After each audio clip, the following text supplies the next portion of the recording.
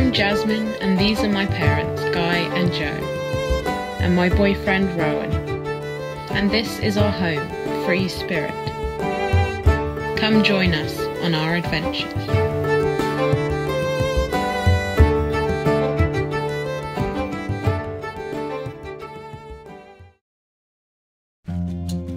In the calm waters of the Isles of Scilly, we began to ready Free Spirit for her departure.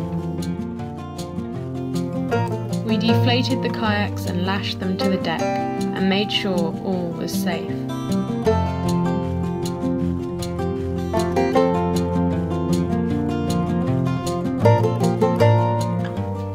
The next morning, we set off. We would not touch land again until we made it to Scotland, over 340 nautical miles away.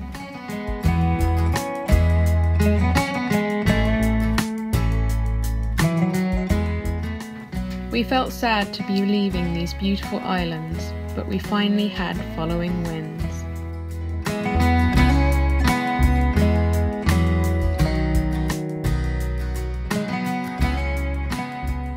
And with some big storms forecast to hit the Scillies soon, we decided we were ready for a new adventure.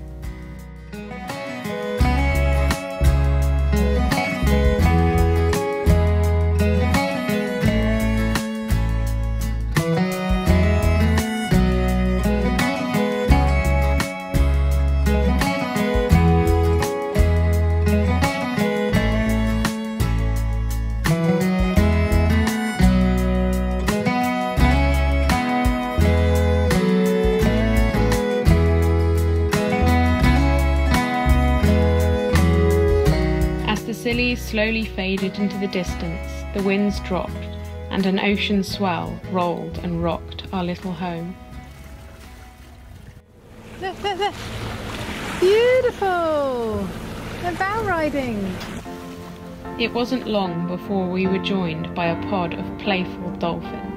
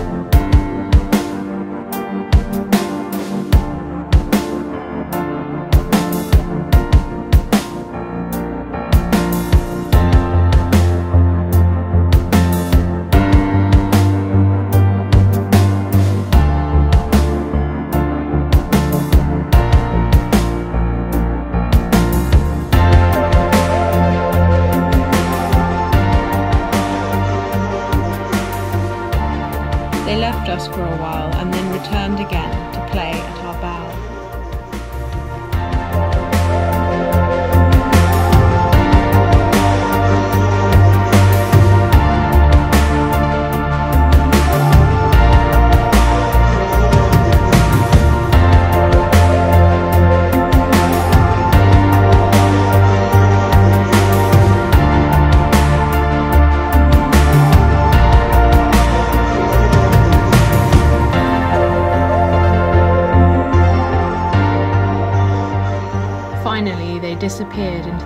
waves, and we were left alone on the ocean, looking out towards the endless horizon.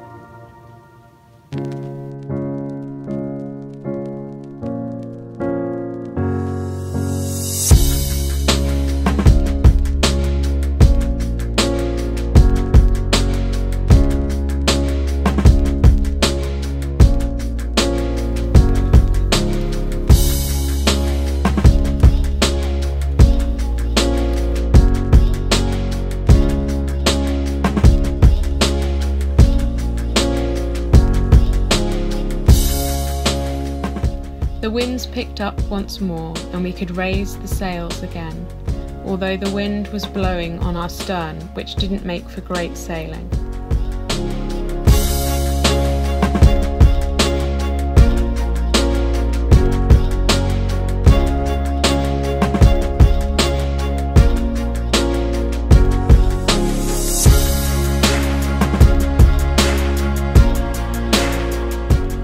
As the evening closed in, we were assigned to three hour watches that we took in shifts throughout the night.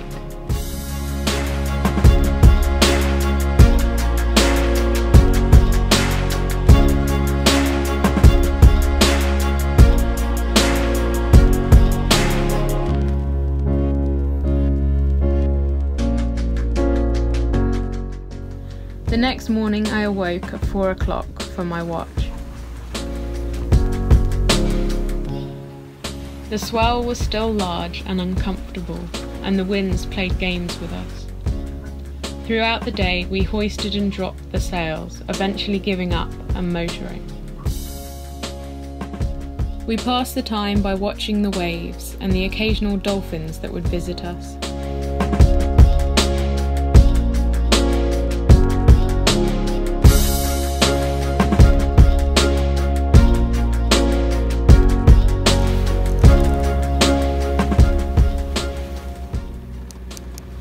Just as the night closed in and my watch began, the engine died. We set the sails and got to work desperately trying to fix the problem. Um, Well, the fact that it didn't was already. We were convinced there was something wrong with the fuel supply, so we bled the engine until eventually, to our great relief, it revved to life again.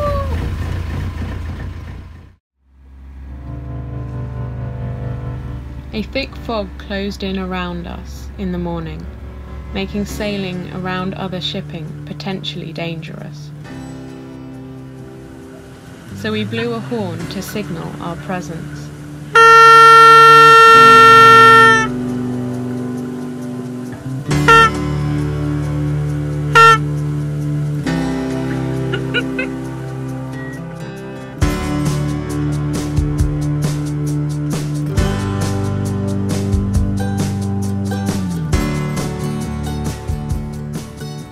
Eventually, the fog cleared and we were bathed in beautiful sunshine.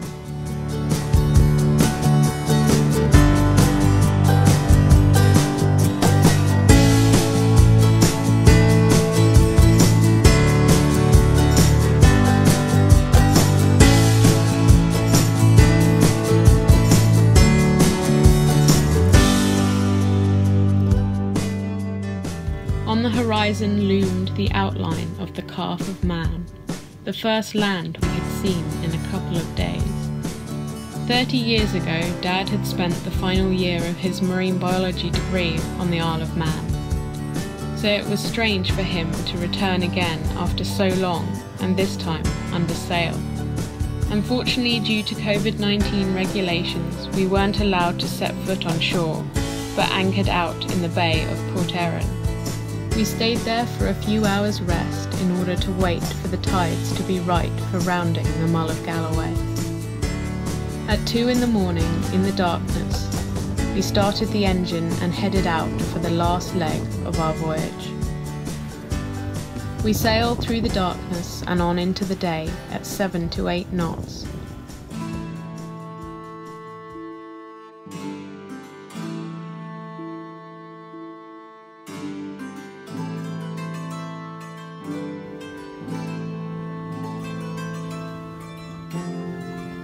Eventually, the winds died down to almost nothing, and we were forced to put the engine on again.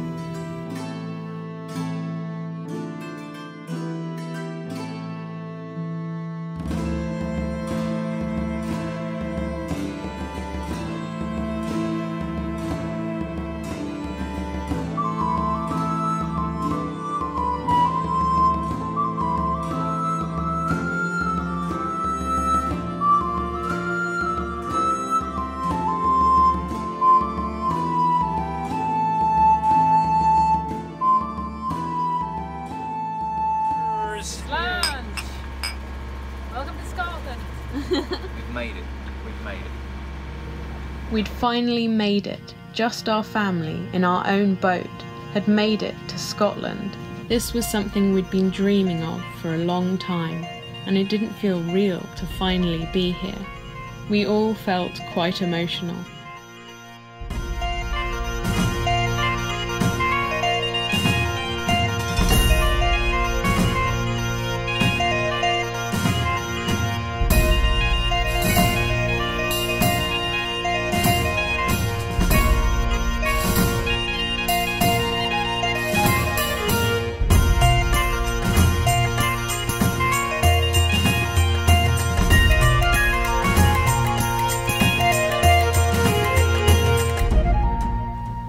In the distance was the huge form of Ailsa Craig.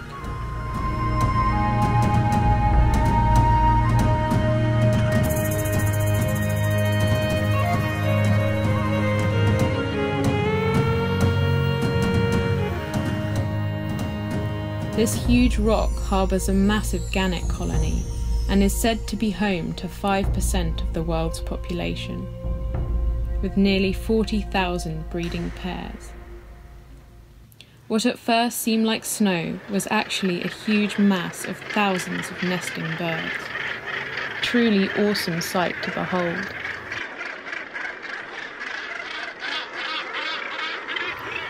The noise was deafening, and the not so pleasant smell of guano was quite overpowering.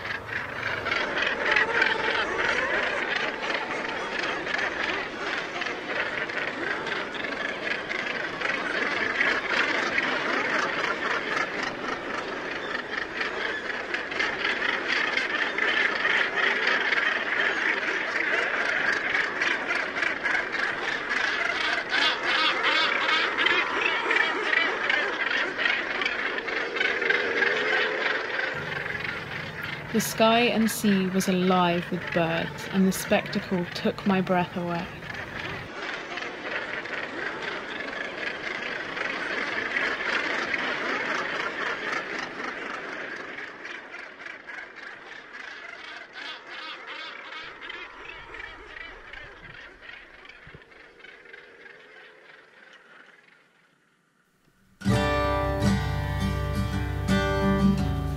Eventually, the island grew smaller and we headed towards our destination.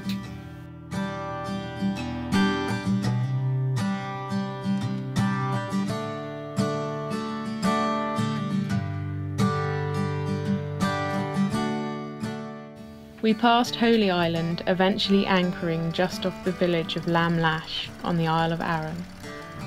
This voyage was a rite of passage for us, and now we are free to explore the wild and rugged beauty of Scotland. Please like and subscribe and join us next time as we begin to explore the waters, mountains, and forests of the Clyde.